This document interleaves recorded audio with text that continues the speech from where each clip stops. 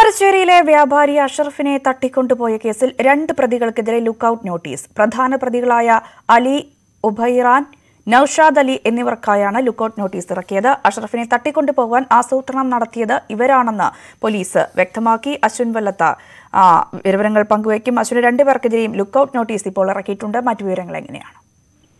രഞ്ജിനി ഈ തട്ടിക്കൊണ്ടുപോകലിന് പിന്നിൽ കരിപ്പൂർ കേന്ദ്രീകരിച്ച് പ്രവർത്തിക്കുന്ന സ്വർണക്കടത്ത് സംഘമാണ് എന്ന അന്വേഷണ സംഘത്തിന് കൃത്യമായ വിവരങ്ങൾ ലഭിച്ചിട്ടുണ്ട്.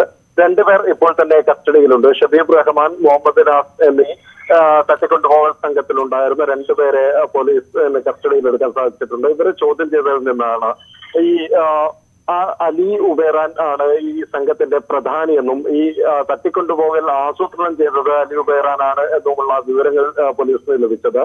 പോലീസ് ഇതുമായി ബന്ധപ്പെട്ട് പറയുന്നത് എങ്ങനെയാണ്? ഈ തട്ടിക്കൊണ്ടുപോയ മുഹമ്മദ് അഷ്റഫിന്റെ ഭാര്യ സഹോദരന്റെ ഈ അലി ഉബേറാനുമായി ഗൾഫിൽ വെച്ച് ചില സാമ്പത്തിക ഇടപാടുകൾ ഉണ്ടായിരുന്നു.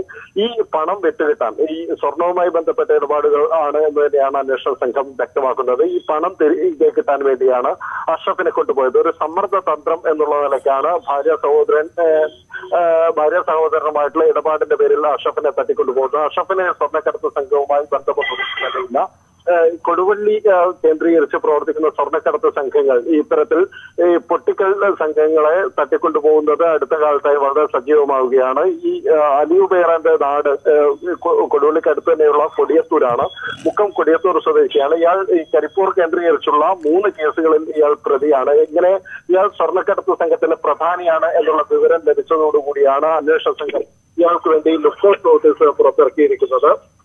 ഏതായാലും മറ്റു രണ്ട് പ്രതികളെ കൂടെ കിട്ടിയതോടെ പ്രധാന പ്രതികളിലേക്ക് ഉടൻ എത്താൻ സാധിക്കും എന്നുള്ള ഒരു പ്രതീക്ഷയിലാണ് പോലീസ്. അഷഫിന് കഴിഞ്ഞ ദിവസമാണ് സംഘം. അഷഫിൽ നിന്ന് വിവരമൊന്നും ലഭിക്കാതിനെ തുടർന്ന് കല്ലമ്പലത്തെ ഒരു ഇടവഴിയിൽ അഷഫിനെ ഇറക്കി വിടുകയായിരുന്നു. കഴിഞ്ഞ ദിവസമാണ് അഷഫ് വീട്ടിൽ തിരിച്ചെത്തിയത്. രഞ്ജിനി. ശരി അശ്വിൻ.